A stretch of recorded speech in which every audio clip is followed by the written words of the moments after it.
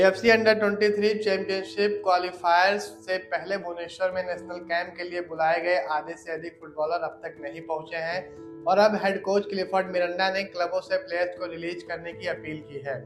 कुल 28 में से केवल 12 प्लेयर ही शुक्रवार से शुरू हुए कैंप का हिस्सा बने हैं। 6 सितंबर से चीन में होने वाले टूर्नामेंट के लिए भारतीय टीम 4 सितंबर को रवाना होगी और इससे पहले हेड कोच काफ़ी असमंजस की स्थिति में है।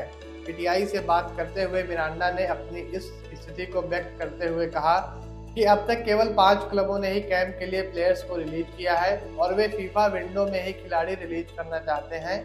टेक्निकली क्लब अपनी जगह सही है, लेकिन मैं अपील करूँगा कि इससे आगे बढ़कर सोचें क्योंकि ये नेशनल टीम और देश के सम्मान की बात है। मोहन बागान से चार एफसी गोवा से तीन, बेंगलुरु एफसी से दो, Gokulam, Kerala, North East United और हैदराबाद से एक एक खिलाड़ी अब तक कैंप ज्वाइन कर चुके हैं। East Bengal, Kerala Blasters Mumbai City, Jamshedpur, Orissa और पंजाब एफसी ने अब तक अपने खिलाड़ियों को रिलीज़ नहीं किया है। मिरांडा को सबसे बड़ी प्रॉब्लम यह है कि बिना साथ में ट्रेनिंग कराए वो अपनी टीम कॉम्बिनेशन कैसे बनाएँगे और कैसे उन्हें पता चल पाएगा कि किन खिलाड़ियों की आपस में केमिस्ट्री अच्छी है।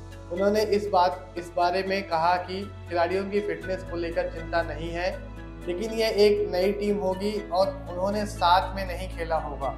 मुझे कैसे पता चलेगा कि क्या कॉम्बिनेशन लेकर उतरना है?